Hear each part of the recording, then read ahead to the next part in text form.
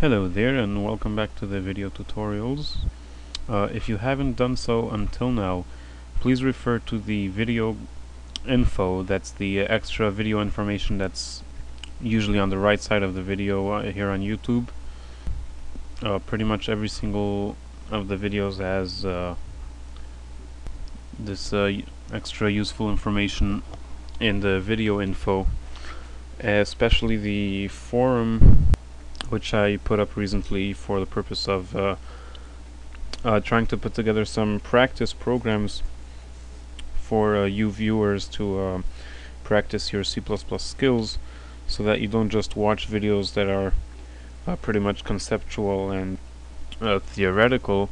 You can actually try it out for yourself um, that's of course besides for the fact of you yourself trying out a whole bunch of different stuff that we learned already even without these uh, practice projects. Again, it is only by much practice and testing, trial and error, that you will actually internalize and remember well all the stuff that we learned so far in the videos. And on the side, it's a lot of fun. You can start putting together a whole bunch of neat little stuff uh, with the lessons we learned so far. Okay, so uh, if you thought functions were powerful, let's learn something a lot more powerful than that, or whatever, equally powerful. We're going to learn now about loops. Loops means that if you wanted to print out to the screen something uh, 10 times, and uh, meanwhile you've been doing so by typing this whole line uh, 10 times, well, it would be pretty awful if this is how it had to work to make something happen many many times that you just have to type it over and over again.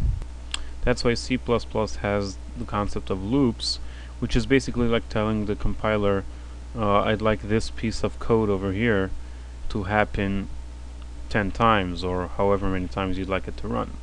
So the, when the program is running it will be looping, it will be going through this piece of code uh, once, twice, three times, four times, however many times you told the compiler to loop through this piece of code.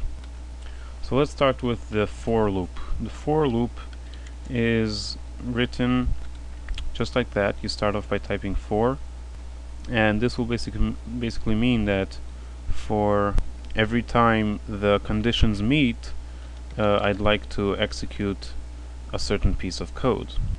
Now the word for is followed by an opening and closing parentheses and it has to have inside of it two semicolons and after the parentheses we have an opening and a closing brace.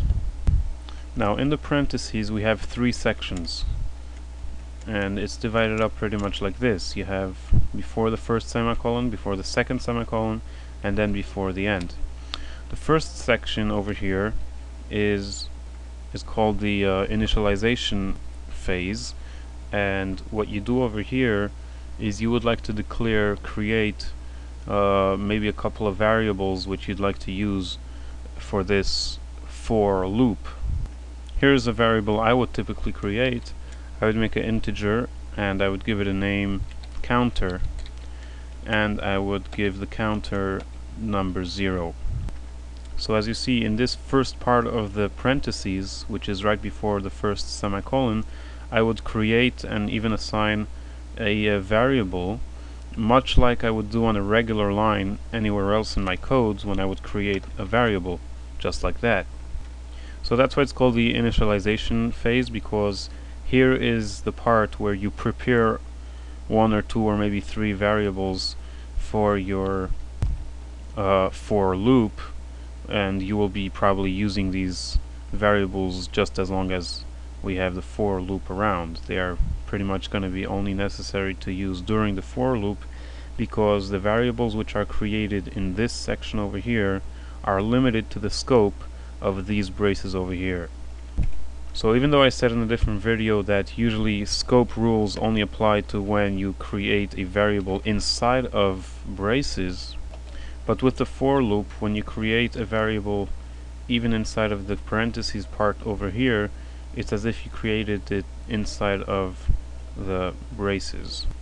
but without, without getting too much ahead of ourselves so again we have the keyword for we have an opening and closing parentheses and we have two braces and then we have three sections in the parentheses the first section is where you will be creating one or more of a variable.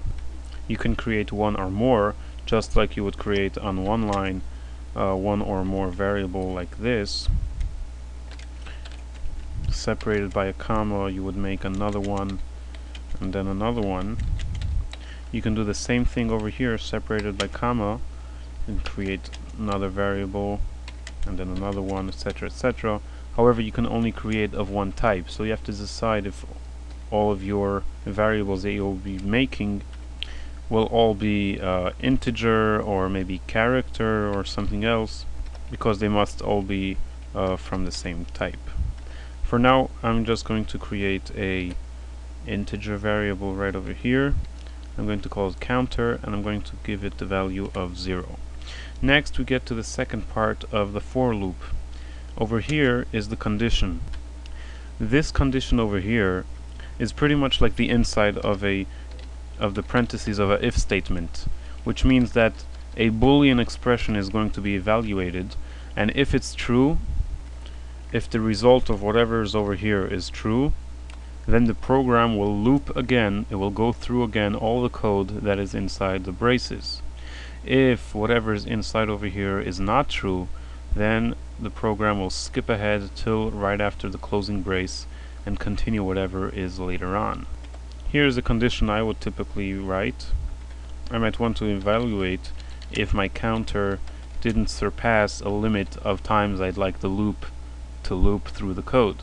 So right now I'm testing, I'm making sure that the variable counter is less than the number 100 and each time I'm going to loop through this piece of code over here I'm going to increase the counter variable by 1 so that after one loop counter will no more be 0 it's going to be 1 and after a second loop it's no more going to be 1 it's going to be 2 and so forth and so forth until at some point counter is going to be 99 and then 100 once it reaches 100 this expression over here will result to be false because it is no more less than 100 right now it is equals to 100 and at that point the for loop will finish and here we come to the last part in the beginning of the for loop which is where you could take some sweet little action each time we loop through the loop.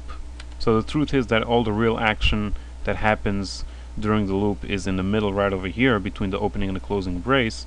However, we also have a little section right over here which is also a little useful to make things clearer. For example, here's where I would increase the counter by 1 each time the round uh, looped through this loop. So again, here's what happens. We are declaring a for loop, which means we are going to make a piece of code which we would like the program to do over and over and over again and again. We start off by having a little section over here which we can use to create a variable which could help us out during the decision making of the for loop or anything else we'd like to use inside of the for loop over here. Next in the middle section we have a truth or false evaluation which will help us decide if we want to continue looping or not and will help us decide when to finish looping and start continuing the program further on or else we're just going to keep on looping and looping forever we have to know exactly when to stop what's the condition that it depends to know when to stop this loop and finally we have the actual action that's going on in our loop which can be over here and over here and usually this little compartment here is used for the action which is useful to the for loop conditions so every loop this is what happens.